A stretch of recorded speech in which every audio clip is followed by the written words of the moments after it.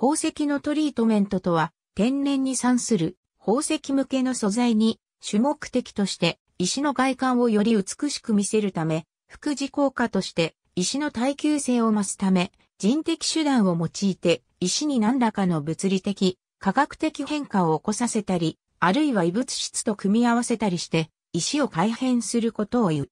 ただし石のカット、研磨については石のトリートメントには含まれない。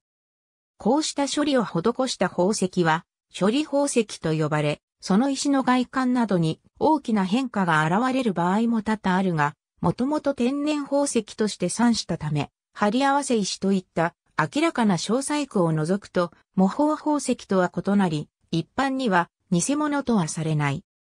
日本では2004年までこうした人工処理についてエンハンスメントとトリートメントに分けており、エンハンスメントはその石が本来持っている潜在的な美を引き出す処理をトリートメントは石に対して施す。自然界ではまず起こり得ない人工処理を指した。しかし同じ処理を施した場合であっても、処理により起きた変化が不可逆である場合は、エンハンスメント、時間経過によりその効果が薄れたりして、元に戻ってしまう場合はトリートメントとして扱ったりするなど、その使い分けは極めて曖昧であった。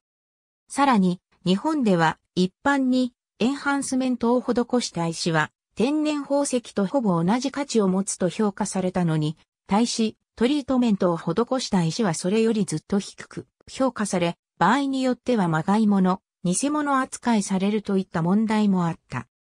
元の石に対して人工的処理を施すことには変わりなく、日本以外の諸外国ではそういった区別はほとんどされない。2004年以降は日本でもそれに倣い、こうした区別はせずどちらもトリートメントと呼んでいる。こうした宝石のトリートメントは、専門機関によりその意思を鑑別した際、発行された鑑別書の鑑定結果の項に、尾行や中期、開示コメントなどの形で記載される。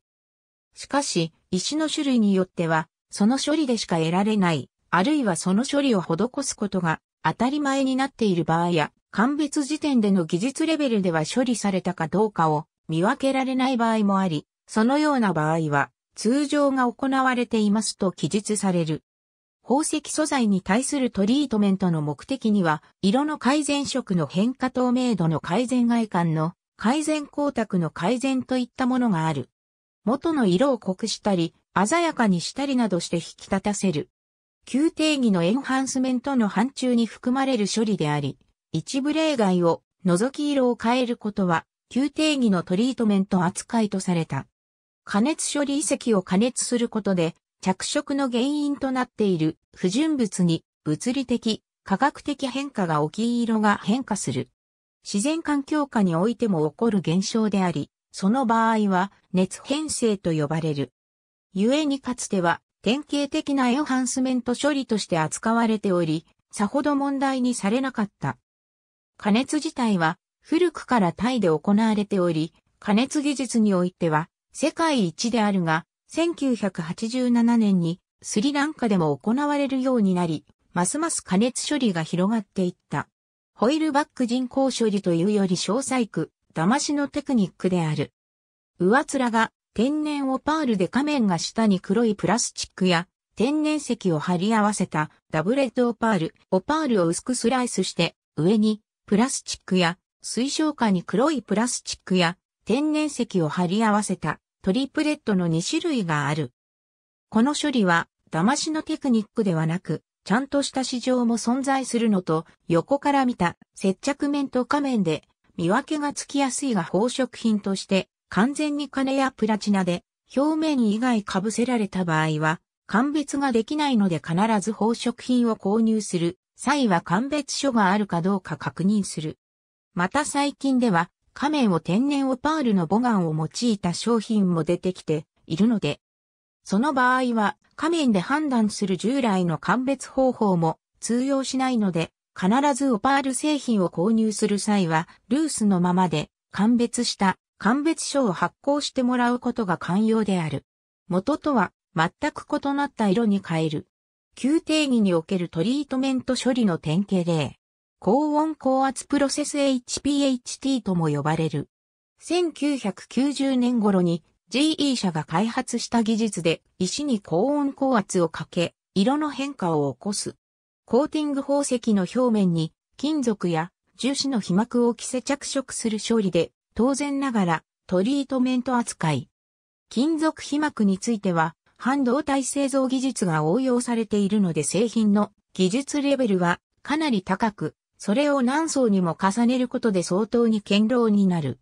故に、通常の線状で剥がれることは、まずなく、ある程度の衝撃や高温にも耐える。照射石に人工的に放射線や電磁波を照射し、結晶構造に歪みを与える。自然環境下で起きる可能性も十分にあり得るのだが、すべてトリートメント扱いされ、エンハンスメントとは認められていなかった。染色石の外観を向上させるために、色素で染める。色素が染みる多孔質の多結晶集合体のみが対象とされる。染料などで様々な色に着色されることがある。脱色、漂白化学薬品を用い宝石を脱色、漂白する。他のより価値の高い宝石に似せるために使われることもあった。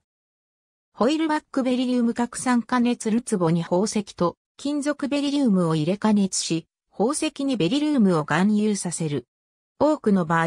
表面付近しか浸透しないため、再カットすると元の色が出る。また、モースコードが極端に低下し、割れやすくなる。言い換えると傷を隠す処理である。一部の処理は、旧定義でエンハンスメントとされた。岩心石を液体につけ、それを石内部へ浸透させる。傷やクラックを埋め透明度や外観を改善する。以外に、色の補強や着色、耐久性を上げたりする場合も用いられる。かつては無色の媒材を用いた場合のみ、エンハンスメント、着色目的の場合はトリートメントとされていた。手入れ方法によっては、超音波洗浄などが安心させた物質が溶け出してしまうことがある。樹脂、オイル、有色剤、鉛ガラス岩芯などがある。一般的にはマダガスカル産で主に行われる。